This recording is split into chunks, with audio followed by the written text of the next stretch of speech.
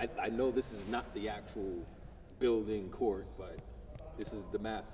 What's it like being back in this building, having you guys all together?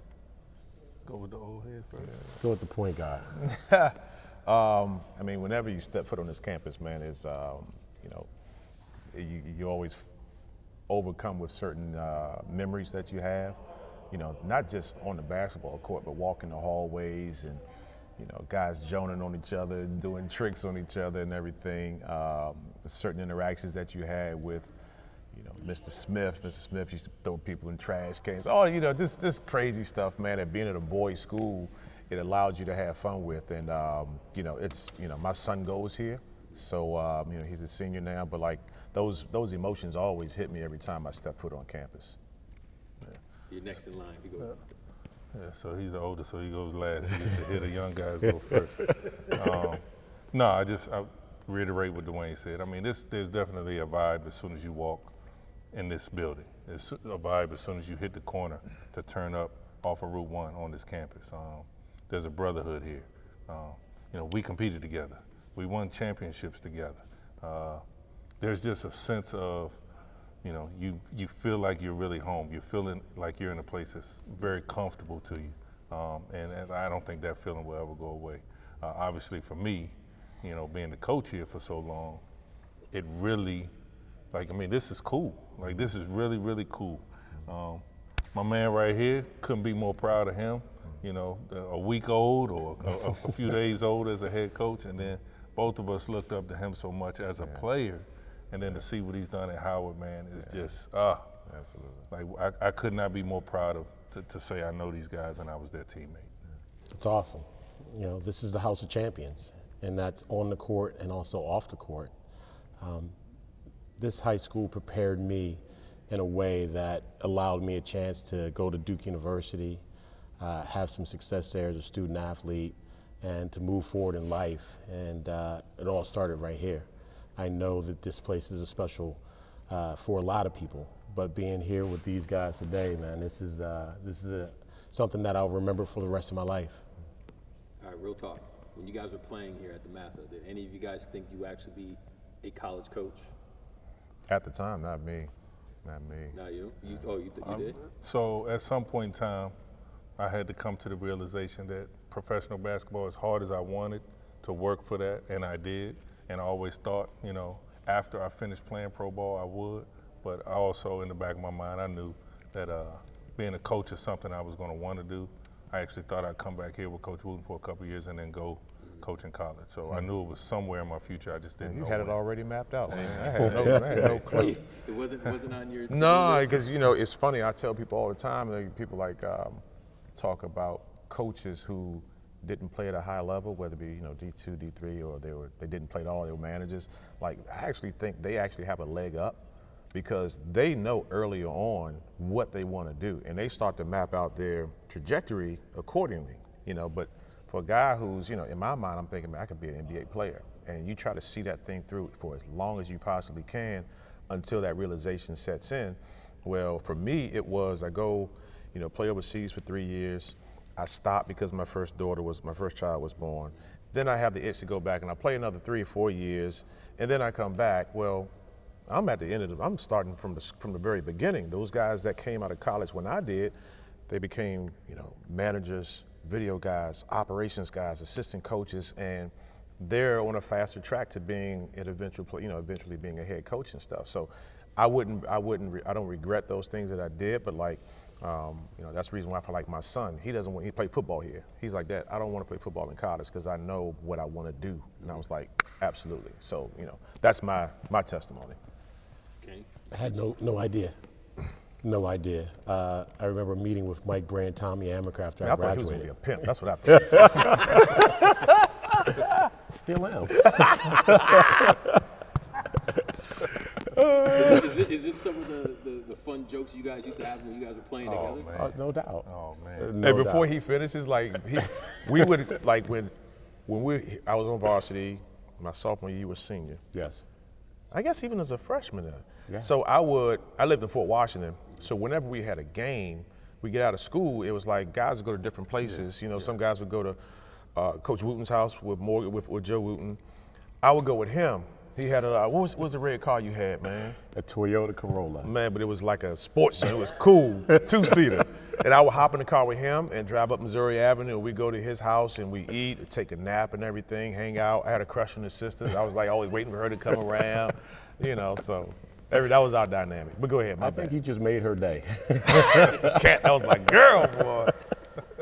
I, I had no idea. I had no idea. I had a conversation with Coach Brey and, uh, and Tommy Amaker and saw that this could be a path and looked at the opportunities to kind of see financially how this path would look and couldn't believe it. Um, but it was just not in, in my uh, in my cards for that to happen the way it happened. So I interviewed at the University of Washington right out of school, and not having experience, uh, Bob Bender, who was the head coach at the time, didn't hire me. But right out in 1995, the job was paying $120,000. I was like, damn, this is a business I need to get in. you know, because I come from a neighborhood where, you know, we're just trying to blue collar and everybody's working and, you know, great families and things like that. So that was kind of, you know, for me, my path a little bit in trying to get into this business. Yeah, 120K. I was like, this He's always bad. on the bread, bro. Always on the Always on the Okay. In In 95. 95? What? That's a. At 23. I was like, shit. I'm gonna learn how to coach. Yeah, really. I coach. Do it. What he did at Howard this year was historical. Mm. Like, what was your reaction seeing what he was getting done there at HU? pride, pride. Um, just knowing him as a person, knowing, and no offense to Howard, but knowing what he walked into and what he was going to have to build, uh, to see him do that, and to do it quickly. I mean, since he's been there, Howard has been a name that's been buzzing. You know, you start with you know the recruits with Thom Maker, and then the HBCU movement, like just. But he's been at the, the forefront of that, and uh, you know now you've got other HBCUs that are elevating themselves. Why? Because he started to do the same thing. Like he, he's a trailblazer, um, and I'm just pr- like that. That is amazing. Again, I mean, I'll let you tell the story about the basketballs, but to see him build that thing from the ground up is is unbelievable. What about you, D?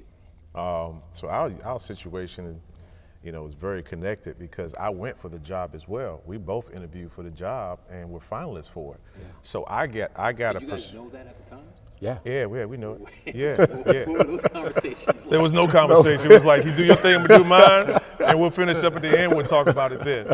But to have it in, you know, I had a, you know, behind the scenes look at the things that were. Everybody sees the basketball stuff, but like with administration and you know the all the all the things that make your job easier or harder, and just and every job has their obstacles. Don't get me wrong, but like to see the inner workings, I'm like, and I know what he's had to go through.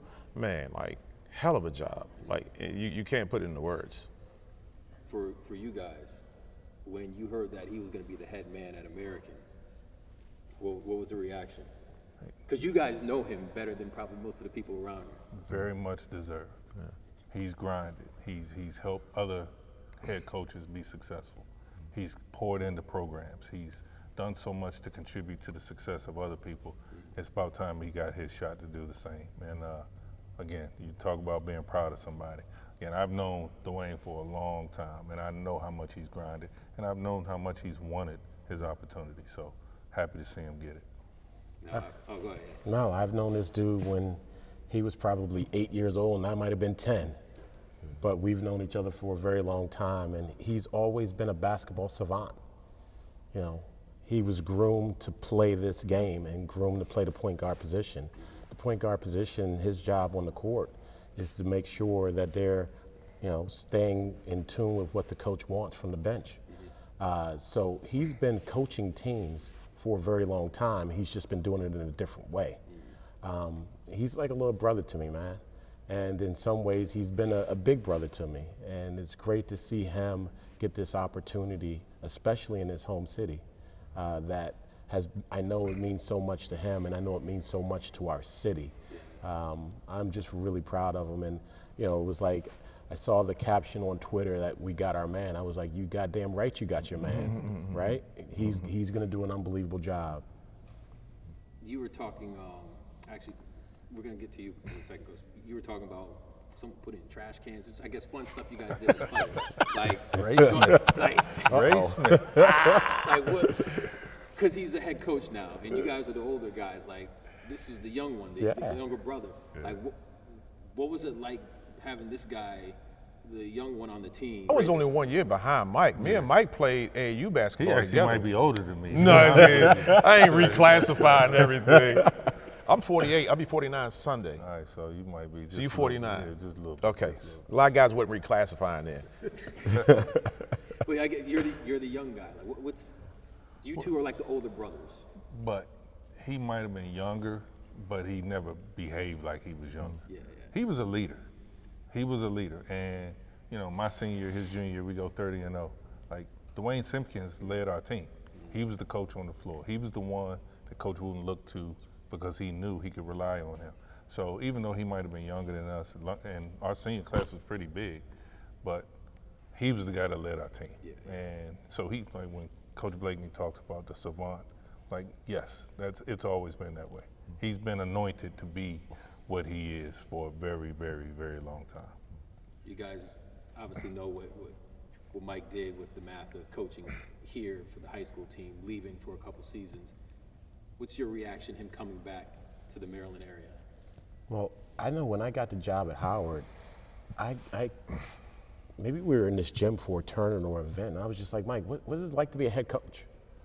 Because he had been a head coach for here at DeMatha for a while, and uh, it's a it's different when you move over from the assistant coaching seat to the head coaching seat, and you know I've always respected and valued who he is as a person. You know, his family, his dad has always been great to me, and dad sent me a message on like Facebook or Did something me like too. that. Me too. I'm Yep. like, so you know, he's continued to uh, to be friends of, of us, and, and but I, I, you know, to see him do an incredible job here, which was actually probably the hardest job to do, was follow a legend and then be really, really su- successful. Produce a lot of guys that graduated from here, gone on to college, and become pros, and great husbands, great family men, great people in the community. Um, it's awesome, man, to see what he's done. And you know, it's one year at Virginia Tech, but now I know what he's going to do here at the University of Maryland. Um, it, it's going to be special. The I think what the energy that he's going to bring uh, to the University of Maryland, especially being a DeMatha guy that hasn't had that relationship with the University of Maryland, maybe since, you know, Duane and the young fellow that just transferred in from uh, Jahmir Young. Yeah, yeah. Jahmir Young. But before that was Travis Garrison, 20 years, right? 20 years. 20 years. And that's a damn shame because we're right down the street. Literally. Literally. We could do a whole nother segment on that. What, what, so, like, what was what was your reaction when you heard that that uh, Mike Jones was was I coming mean, back I, into this area? I was like, eventually it had to happen, right? Just from the standpoint of uh, it's a natural. Dude, coaching for almost 20 years as a head coach, like down the street from the University of Maryland. Like, if there was an opening to be had, if it, if it happened, like with Tony, when the thing with Tony Skinn did happen, like in my mind, obviously, I'm like, man, I could try to get back home, but like I want to be a head coach. And the American University thing, it worked out perfect. And I'm like, there's there was no question in my mind. I, I didn't even talk to him. I had no, I had no idea, but I knew Kevin Willard is a pretty smart guy. I'm like, of course he's got to call Mike. I knew that it, it had to happen, but I thought this was going to happen at some point in time, no matter whether Mike was at Virginia Tech or whatever. As long as he wasn't a head coach somewhere, like this was the natural progression. It just made it just made sense. And this, in, terms of what he did here at DeMatha, everybody sees like the championships that he won and what have you. I remember early on, you had your baby boys, you had Nigel Munson and, and, and those guys. Like, Mike, it was it was tough getting started now, and, and a lot of people don't remember that. They see the championships and everything else, but I remember those times, and and like that's why I appreciate what he's done that much more because it wasn't handed to him and everything. He had great talent. Like he had young boys, he had to like grow and then get this thing moving in a direction in which it, it got to. Let's have some fun real quick. Raise your hand if you're gonna recruit the DMV hard. What's gonna? I know it's a dumb question, right? What's it gonna be like? You guys showing up to a game, looking at maybe one player, and then you see your former teammate trying to recruit the same dude. I don't think it'd be a problem at all. Um, for one, and it, we're all competitors. Yeah, yeah. So if we're going after the same player, I'm going to try to outwork both of these guys. Probably not going to happen in terms of outworking them, but I hope I win.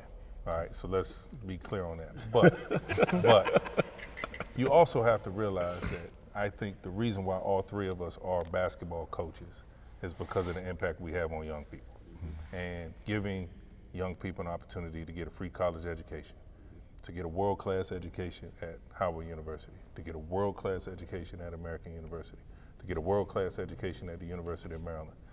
The fact that we're giving young men the opportunity to have any of those is what we're in this for, um, because it's going to change their lives. Without it, who knows what happens? So we're giving them that opportunity. So yes, we're all going after the same player. I want Darren Haynes. You're going to come play for us. All right, what's up? What's But- fight full ride, right? But Yeah. ultimately, we know what we're in this for. I'm going to take the point guard route, and I'm going to be like, "Hey, Mike, I know you guys are recruiting. How serious are you? you ain't that serious? All right, look, I might have a chance, or I may come to him and say, "Hey, look, do me a favor. If it doesn't work out, he's there for two years, and like, doesn't work out, let him know. Got a place here at American University. You know what I mean? But you got to, you know, this, this, this is levels of this, right? I'm not going to beat University of Maryland for a kid. If he, if University of Maryland really wants him, I'm not gonna I'm not gonna waste my time. But I do expect Mike to pick the phone up and let me know, like, hey, man, we got a great kid. He's killed it in the classroom, man. Like Simp, he comes to Patriot League, like he's all he's a, he's he's all league. He's he's probably gonna transfer. Like that's why I'm coming in. I, I ain't gonna try to go head to head with the big boys like that. Not gonna do it. What about your coach? I'm gonna just look at the transfer portal. That's all. Makes it simple. Yeah, it makes it simple now. I- you know, at some point in time, uh, you know, the way that it's set up for us today, um, it's unfortunate that we have, you know, probably 1,100, 1,200 kids in the transfer portal right now. And, uh, you know, it, it seems like a, a high percentage of every team is going to lose kids, um, right, wrong, or indifferent. So, I, I, you know, with recruiting, with recruiting the DMV, there's probably going to be 60 kids a year, 40 to 60 kids a year that may be a Division One kid from the Baltimore area out to Northern Virginia, uh, headed towards like, you know, the Richmond area. We we kept a stat this year of every kid that is from the 757 Richmond on up to Baltimore, a little bit further up. There were 400 Division One players that were just from this area, and we tracked them all year had their stats updated, different things like that. And, you know, so w- when it comes to recruiting, there's going to be so many young men that are in this area that are terrific basketball players. They've been developed the right way. We know that. They've been coached the right way. We know that. We know their DNA. We know their high school coaches. We know their AAU coaches. So we understand that these young men, especially right here in the DMV, um, come from a rich basketball background that if any of us get them, we feel like they're going to have a chance to be really successful. Because what, what's interesting is, is you guys were teammates, but now you guys are at three different schools, but you guys are still sort of going to work together when it comes down to recruiting, transfer portal, and stuff like that. So you guys are actually looking out for each other, even though you guys are the competition. Absolutely. I mean, you know, his starting point guard played here for me at DeMatha. You know, Steve Settle, one of his wings, played here at DeMatha on, on, on one of my teams. And like again, I'm rooting for Kenny to be great. Yeah. One of his assistant coaches was a senior when I was a freshman here, Rob Belanis. But then you look at his roster, and there's so many young men on that team that played here. But then there's others that I rooted for that I tried to recruit to come here that didn't, but I'm fans of. Um, you know, this, again, I, I can't speak enough about what, what Kenny did and is going to continue to do. The, the program he's building is, is unbelievable. And there, there's so many kids. Like if I'm out and about, there's a kid that may be, you know, above our level. Mm-hmm. I'll pick up the phone and say, Mike, maybe take a look at this kid. You know, I think you will like him, or he may, you know, I may see him and he's, he asks, "Have you seen this kid?" Mm-hmm. And I'd be like, "Yeah. What, what do you think about him?" Well, it may not be good enough for you, or he may be good enough for you. Like we, we will talk and we, we trust one another in terms of that basketball acumen. That you know, having these kind of discussions, it's very natural for us to have. What kind of impact did Morgan Wooten have on you guys? Well, I was, as you were saying, I was actually thinking, like the three of us are sitting here. Do you realize how many other DeMatha grads that played for Coach Wooten are coaching basketball right now? Um, it's so many of us. So yes, we're the three guys sitting in front of you today, but You know, there's Ronnie Everhart, there's Corey McCray, there's Mike Pegues. Like we're everywhere. We're everywhere. And just what you just said, I can think back to all of the conversations I've had in the last two years because we're trying to help each other. My, one of my first events to go to recruiting as a coach at Virginia Tech, I bump into Ronnie Everhart. And he literally makes me sit next to him and then wants to make sure I'm good. Like, hey, are you looking at this kid? Are you looking at that kid? And not in a deceitful way trying to get information from. He's trying to help me out to make sure I can do my job effectively. I mean, that is the brotherhood that we have here. Heath Schroyer, who graduated with Kenny, he's the AD at McNeese State. I mean, we're everywhere. We're everywhere, man. the one common thread in all of that is Morgan Wooten. Yeah, We all played for him, learned the game from him, Yeah. and he inspired us to do what we're doing right now. Yeah, yeah. Yeah, He was huge. I mean, Mike said it very, but yeah, what Yeah, I just think so many people fail to realize what made him so special wasn't like the X's and O's and everything. It was like just all the life lessons, man. That like, I'm, I have I have more empathy for student athletes and what they're going through on the court, off the court, and everything, because I've learned to look at them holistically, and that's what Coach Wooten was really good at. Like he was he was a teacher. He was a teacher first and foremost before he was a basketball coach. You know. Yeah, yeah. Well, you can. Well, that's what we talk about. You know, we talk about when I do my presentations to student athletes and their families, we talk about, you know, my presentation basically comes from everything I learned from Coach Wooten, being a teacher, about our family, you know, our priorities, like all of those different things that at, you know, 14, 15, 16, 17, you may think that, you know, are, are corny or, you know, not mm-hmm. relevant uh, as you get a little bit more older and a little bit more mature, they're very relevant. And there's not a day that doesn't go by that, you know, Coach Wooten isn't with me in whatever I do. I, I, I start practice with fundamentals, like things that we did here at DeMatha. Um, so that DNA that, you know, I was exposed to here with Coach Wooten is something that I take with me daily into my life and also with my, with our program. If you replace me with Coach Wooten, and he's sitting here right now, looking at you guys as coaches, what would he say to you? Damn, that's a good question. I think he'd immediately tell us how proud he is of us. Um, you know, he used to always have this thing where don't judge me by my win or loss record. Judge me 10 years from now when all of these young men that I'm coaching, what are they doing with their lives? Well, again, we're just three representatives of a whole lot of people, but I'd say he'd be pretty daggone proud of us. Yeah. Only thing that stands out, he would, uh, the way he would say, "Buddy." How are you, buddy? Like it would make you feel like like a you know a grandfather, and like you just felt like loved and supported and everything. Like I mean, that's for some reason that just jumped in my mind when you just drew that scenario up. You're trying to have an Oprah moment right now to make us cry. like that's where you're trying to go with this right now. I mean, I realize the impact he's had on many individuals. Oh, yeah. Many young men, and obviously he touched you guys. You guys are uh, just another branch from his tree. And so, like, yeah, if, if he was here, coach, No, I've, I've been staring at the, the Morgan and Kathy Wooten gymnasium sign right there. Just, you know, when these guys have been talking, I've been taking just little glimpses around this, you know, beautiful gymnasium. Um, I, I know what the impact is that he had on me. You know, I grew up in the crack era um, and in a neighborhood where it was very relevant. Um, so the love that he showed me when I was here, um, because I didn't come here to play basketball. I came here to play football. so the love he showed me when I was here and uh, the life lessons like Duane and Mike talked about were were special. There's nothing like again, there's nothing that I don't do in my life where um, Coach Wooten's impact does not like come through in, in anything that I do in my life. So I'm I'm forever grateful for to him and his family. So my freshman year, he's a sophomore. All right. And I'm thinking, I'm thinking, okay, I'm I'm gonna play basketball. And you know, Duane's just in the eighth grade. And over in the old gym, there used to be a stage just off the court that were it was used as two classrooms, but it was elevated. So if you look out the door, you're basically at rim level. And again, I'm thinking I'm going to be this great basketball player here. All right. He's a sophomore. He's 15, maybe 16 years old. And I'm looking out, and they throw a pass that's so bad, but he jumps up in the air, and I swear to you, I swear to you, his bicep is by the rim. And he's 15 years old. And I'm just looking around, and then I turn back. We're in study hall. We're, the freshman basketball team, we're supposed to be studying, but we're watching.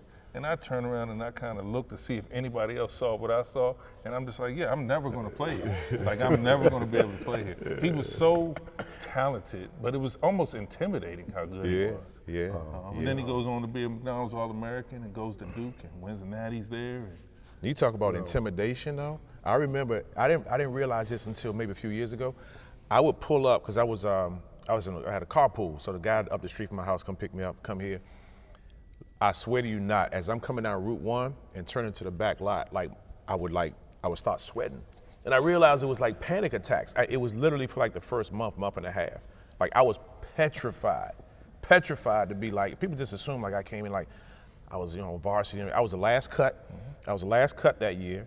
Coach Wooten told me he says, look, I'm not sending you to JV. I'm sending you to freshman, so you can play with your other freshman classmates. He said, but I'm gonna tell you, keep yourself prepared because somebody could get hurt. Somebody could be on AP academic probation. And sure enough, like I don't know, I played five games as a freshman, and I got brought up. But I was petrified every single day I stepped on campus for like the first month and a half. Is this because of the pressure of because It's there's the just so math. much talent here? It's the mather. Oh yeah. Yeah. There were guys, and you know, don't let these two guys undersell. They were tremendous players. They just couldn't get as high as you. No, I, no, Go by the rim. no, no, no. no. But there were there were guys that left here that you know transferred before they graduated to. Matha, that went on to you know other schools and then colleges that set records. Yeah. Like you know that haven't been touched maybe up until this year. Like uh, Keith Veney's record for three pointers. yeah. I think it just got broken the last year or two. We had guys leave here, man, go and go to wherever McNamara for him, Largo, and become second team All Met, first team All PG County. Like it's just not. unfortunately, there's not enough positions and spots. spots, yeah. You know what I mean? But to piggyback on that, I think that's what makes us so special hmm. because we didn't leave. Yeah. We didn't run. Hmm. We stuck it out here and made it work for us, and we gained the value of what it is to be a DeMatha Catholic High School graduate. Um, and no offense to the guys that made the best decision for themselves, but that's what binds us together because we did go through everything you had to go through to make it through here, and we did it. So one quick story. Okay, I'm, down, I'm, down for all the I'm. I'm forever indebted to this dude. When I got the Howard job, it was the summer, and you know we were going to start our summer workouts, and you know I go into the equipment room. We don't have any balls. Like we don't have basketballs. well, balls. like, how, you- how We you don't got have basketballs and You basketballs. got a basketball team. We don't. Maybe the players took them when before they left for the summer or whatever it was. We don't have basketballs. Three years later, this is when it goes to the NCAA tournament. They have balls. Talk about building. I had to come over here, and Mike gave me like 20 of his camp balls for us to be able to be able like to practice, do two ball dribbling things. I, I might have had to come over and get more, but I, like we can't even begin if it wasn't for Mike and, then the generosity of him in the program. That's a great story. Because we didn't have balls to start. I call him once a year, and I thank him. Yeah.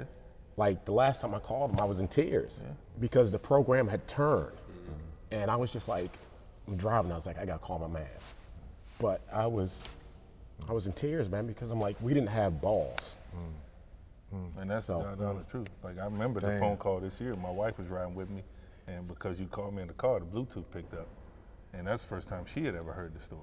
Yeah. But he's just like, "Yo, do you remember me calling you?" And, and I was like, "I remember."